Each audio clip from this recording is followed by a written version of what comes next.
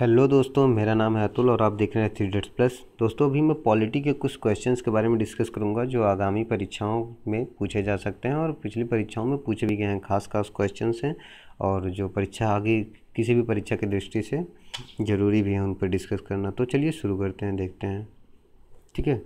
तो पहला क्वेश्चन है हमारे पास दोस्तों की संयुक्त बैठक के, बैठक किस अनुच्छेद से संबंधित है? तो इसका सही आंसर दोस्तों, अनुच्छेद 108 में जो है, संयुक्त बैठक के लिए प्रावधान है। संयुक्त बैठक की अध्यक्षता कौन करता है? तो संयुक्त बैठक की अध्यक्षता दोस्तों, लोकसभा अध्यक्ष करते हैं। अगर वो अनुपस्थित होते हैं तो उपाध्यक्ष होते हैं और अगर वो भी अनुपस्थित होते हैं तो उपसभापति राज्यसभा के। यहाँ ध्यान दीजिएगा कि ये उपसभापति है। ये सभापति नहीं है, क्योंकि सभापति जो हैं, उपराष्ट्रपति होते हैं। तो अगर लोकसभा अध्यक्ष नहीं है तो उपाध्यक्ष लोकसभा के और उपाध्यक्ष नहीं है तो उपसभापति। ठीक है? अगला है दोस्तों, संयुक्त बैठक किस विधेयक के लिए की जा सकती है?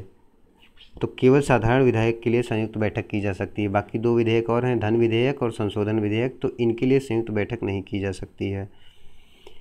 अब तक कितनी बार संयुक्त बैठक की गई है? तो दोस्तों, अब तक तीन बार संयुक्त बैठक की जा चुकी है 1961 में 1978 में और 2002 में।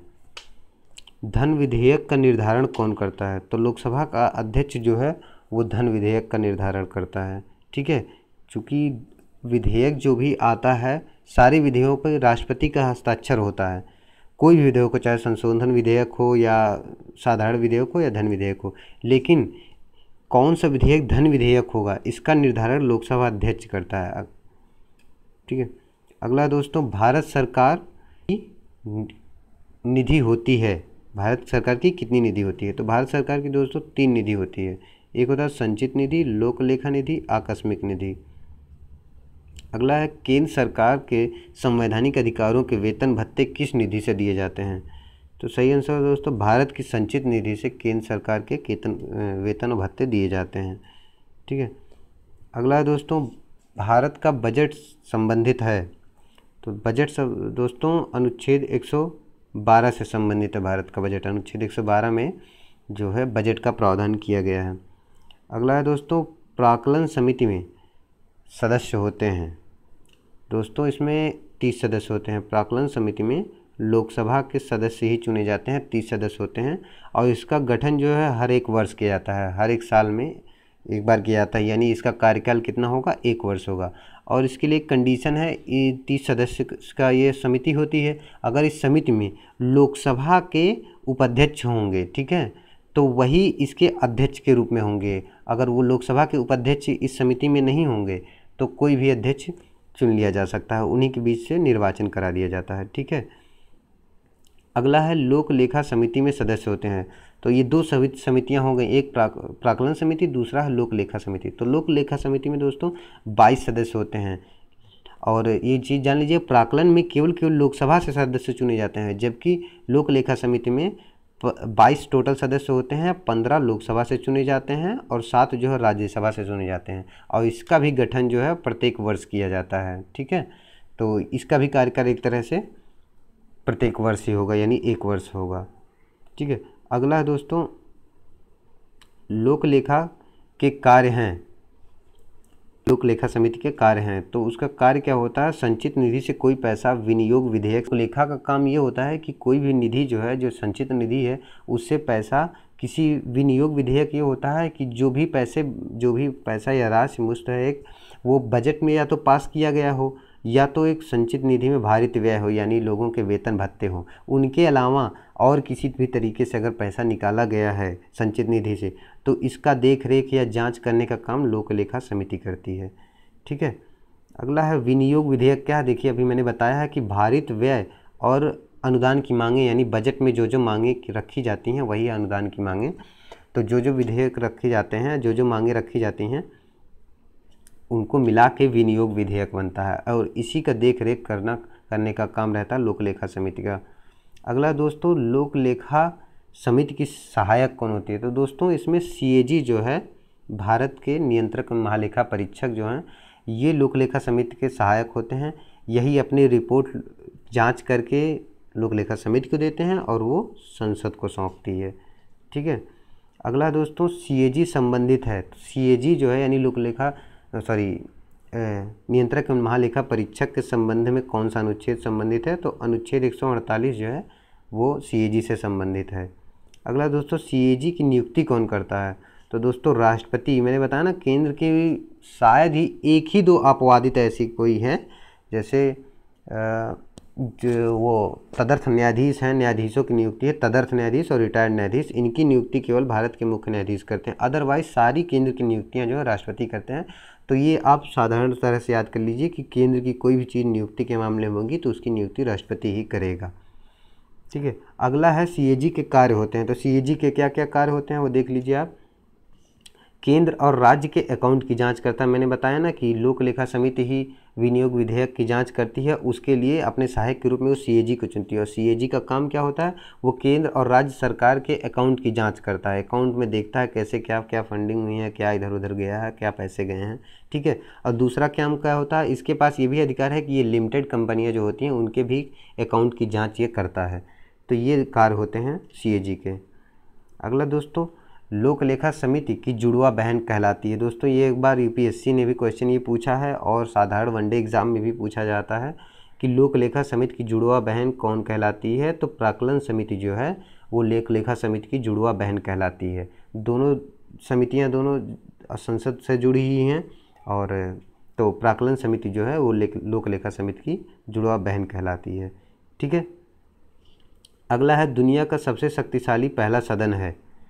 तो ये बहुत ही अच्छा क्वेश्चन है, आप देख लीजिएगा। खाली पहला सदन जो है, यानी प्रथम सदन तो वो है ब्रिटेन की हाउस ऑफ़ कॉमन्स यानी ब्रिटेन की हाउस ऑफ़ कॉमन्स जो है, वो बहुत ही शक्तिशाली है।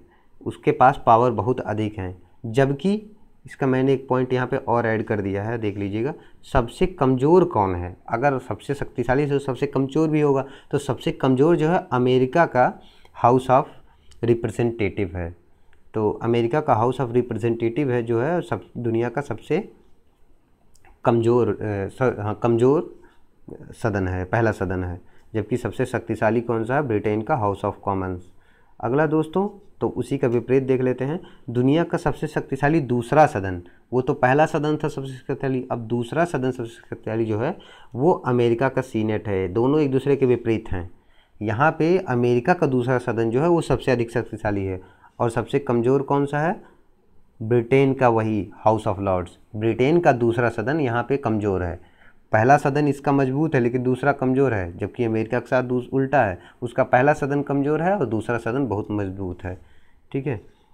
अगला क्वेश्चन है दोस्तों, प्रश्नकाल के दौरान अधिकतम कितने तारांकित प्रश्न पूछे जा सकते हैं? एक दिन में। ठीक है? तो प्रश्नकाल के दौरान तारांकित यानी मौखिक मौखिक रूप से कितने प्रश्न पूछे जा सकते हैं? इसका सही आंसर दोस्तों, बीस। यानी मौखिक रूप से पूरक प्रश्न कर करके आप बीस प्रश्न प्रश्नकाल के दौरान आप पूछ सकते हो। ठीक है? अगला है प्रश्नकाल के दौरान एक दिन में अधिकतम कितने प्रश्न पूछे जा सकते हैं? आतारांकित ठीक है? आतारांकित यानी आतारांकित है यानी लिखित होगा। तो लिखित प्रश्न कितने पूछे जा सकते हैं? वो है 230 लोकसभा में और अनगिनत है राज्यसभा में, ये लिखित पूछे जाते हैं। जो अतारांकित होते हैं, वो लिखित होते हैं तो लिखित रिज़ल्ट मिलता है तो उसके लिए उनके ऊपर कोई लिमिट नहीं होती। जबकि तारांकित में अगर लिमिट नहीं होगी तो केवल केवल बहस पे बहस ही चलता रहेगा और कोई काम नहीं होगा, कोई विधेयक पे कोई काम नहीं होगा। इसीलिए जो है, अतारांकित यानी लिखित प्रश्न जो होते हैं, लोकसभा में लिमिट है, दो सौ तीस ही केवल पूछे जा सकते हैं, जबकि राज्यसभा में अनगिनत पूछे जा सकते हैं, वहाँ ये चलता रहेगा, ठीक है? अगला दोस्तों, शून्यकाल किस देश से संबंधित है? तो दोस्तों, शून्यकाल जो है भारत की ही देन है। तो ये जाने रखिएगा कि अक्सर लिया जाता है कि कई देश से कई चीज़ें बारो की गई हैं, ली गई हैं। तो जबकि शून्यकाल जो है, वो किसी देश से नहीं लिया गया, वो भारत की खुद की ईजाद है, ठीक है? तो इसके बारे में थोड़ा सा जान लीजिएगा। इसका समय ठीक 12 बजे से शुरू होता है, इसलिए इसे शून्यकाल इसका शून्यकाल कहा क्यों जाता है ये जान लीजिए, क्योंकि इसका समय जो है वो 12 बजे से शुरू होता है, इसीलिए इसे शून्यकाल के नाम से कहा जाता है, ठीक है? और है कि इस काल में प्रश्न पूछने के लिए कोई पूर्व सूचना नहीं देनी होती है, क्योंकि और सारे प्रश्न जो हैं, या तारांकित या तारा, अतारांकित, इनमें पहले आपको उन्हें सूचना देनी पड़ेगी, तभी तो वो मैटर तैयार कर पाएँगे अदरवाइज़ वो बोलेंगे कहाँ से? जबकि शून्य काल में क्या नियम है, इन्हें कोई सूचना नहीं देनी पड़ती है। जब, लेकिन कंडीशन क्या है? बिना सूचना दिए आप अगर प्रश्न पूछ रहे हो तो इसके कुछ कंडीशन भी होंगे। तो कंडीशन ये है कि वो जो प्रश्न है, वो लोक महत्व का होना चाहिए। अगर लोक महत्व का प्रश्न नहीं है तो आप शून्य काल में उसे नहीं उठा सकते। ठीक है?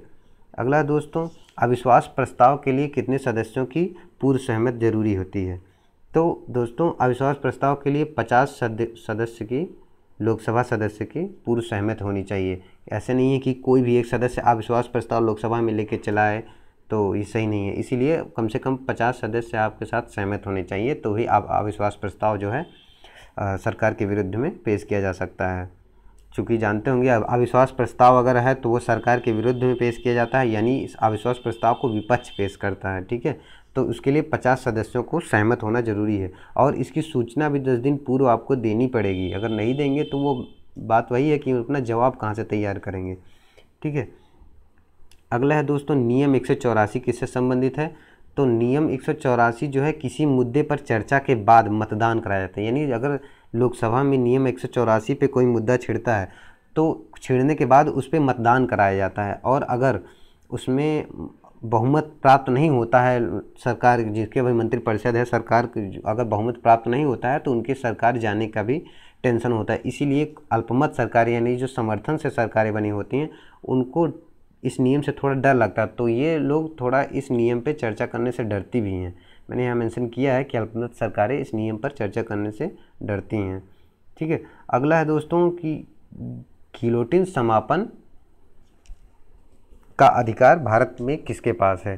तो दोस्तों जाने देखिए, गिलोटिन समापन का अधिकार जो है लोकसभा अध्यक्ष, भारत के लोकसभा के अध्यक्ष के पास जो है इस समापन का अधिकार है। ये होता क्या दोस्तों?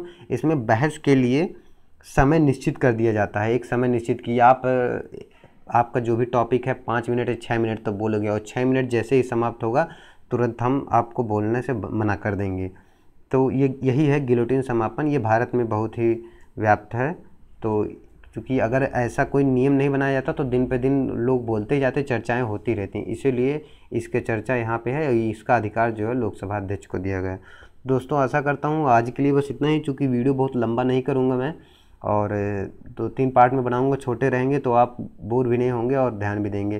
प्लीज़ प्लीज़ हमारे चैनल को सब्सक्राइब कीजिए, वीडियो पसंद आए तो लाइक कीजिए और कोई आपका सुझाव हो तो कमेंट कीजिए या फिर हमें ईमेल या फेसबुक, इंस्टाग्राम जहाँ पे भी आप डिस्क्रिप्शन में सारा लिंक आपको मिल जाएगा, आप वहाँ से हमें बता सकते हैं।